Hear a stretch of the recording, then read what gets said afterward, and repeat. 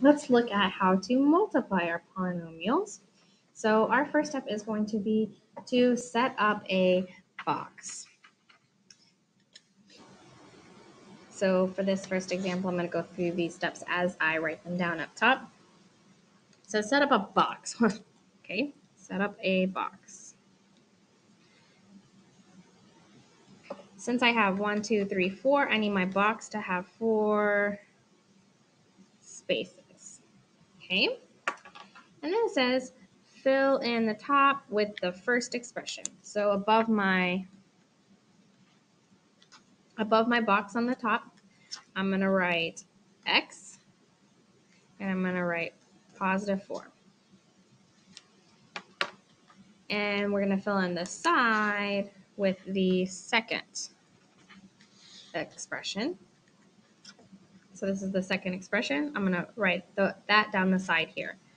So 3x minus 2. Now it says multiply each term by each term. Okay, so I'm going to multiply x times 3x. And I'm going to do that right here just so that we can have a refresher on multiplying our uh, variables. So we've got 3x times x. So remember, if there's not a number in front of my variable, that's an understood 1. So 3 times 1 is 3. Remember, I keep my variable the exact same, and I add the number on top of the variable. So 1 plus 1 is 2. So 3x times x is 3x squared. Okay, I'm going to multiply my 4 times my 3x. So 3x times 4. So I'm just multiplying the numbers that's 12. Don't drop that variable, x. 12x. Now I'm going to multiply x times negative 2. x times negative 2. So that's negative 2x. 4 times negative 2 is negative 8. Now I need to write my answer, and I used up all my space here. So I'm going to write it right here. This number in the top, top left-hand box goes first, 3x squared. And then I take these middle two terms and combine them. So I've got, I'm going to use my space here. I've got 12x minus 2x. So 12 minus 2 is 10, and don't drop that x. So positive 10x. And then that bottom right-hand term is what comes next. That's it. 3x squared plus 10 minus 8 is our answer. So what goes here? Uh, I forgot to finish combine. Generally, our last step is combining like terms. Okay, let's look at another example. Let's draw our box. Again, I need four spaces. This first one up top. Second one down the side. Time I'm gonna do my math here. All right, this one times this one. So we've got 9x times negative x. That's a positive 9 times a negative 1. That's negative 9. Keep your x. Add the exponent. So that's 1 plus 1 is 2. So negative 9x squared goes here. Negative 9 times negative x Negative 9 times negative 1 is a positive 9. Don't drop that x, it's just 1x, so positive 9x. 9x times 4. So 9 times 4 is 36. Again, don't drop that x, so 36x. negative 9 times positive 4 is a negative 36. All right, let's combine our like terms and write our answer. Remember this one goes first, negative 9x squared. We combine these middle two terms, plus 45x.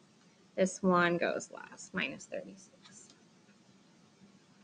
So if you have a problem where we've got an x plus or minus a number and then times an x plus or minus a number, this is what your box is going to look like. You're going to have a square here, the x is here, and a number here. All right, let's do two more examples. This, you see we got only have one term, one um, expression, 6x minus 5, but our exponent is on the outside of this. What that means is what we're really multiplying is 6x minus 5 times 6x minus 5. So this is our first expression that's going to go up top. This is our second expression. So There's our box. Top expression, 6x minus 5. Side expression is also 6x minus 5.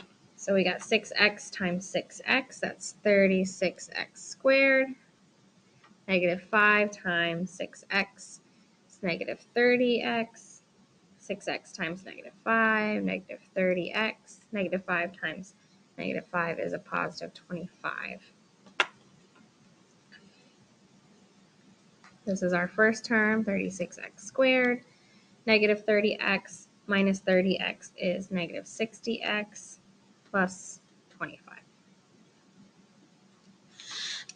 All right, let's look at one more example when we have two here and then three here. So my box is going to be a little bit bigger this time, or longer.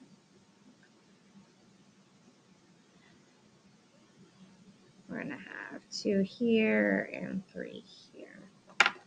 So I'm writing that first one up top, 2x minus 3. That second one below, 7x squared minus x plus 11. So I'm just doing the same thing, same process over and over again. Got 2x times 2x to the third. So 2 times 7 is 14 x times x squared, we add those exponents. Negative 3 times 7 is negative 21, and then that just all stays the same, x squared. 2x times negative x. So 2 times negative 1 is negative 2. We've got two x's, so it's x squared. Negative 3 times negative 1 is a positive 3, and we got that x. 2 times 11 is 22. We've got an x there, so we keep that x there.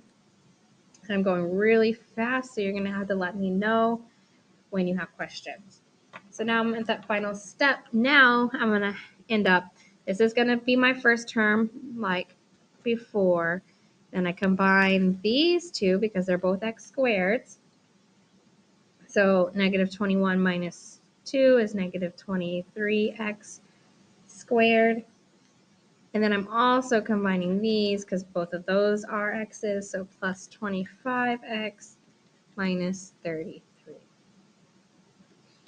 So try this one on your own.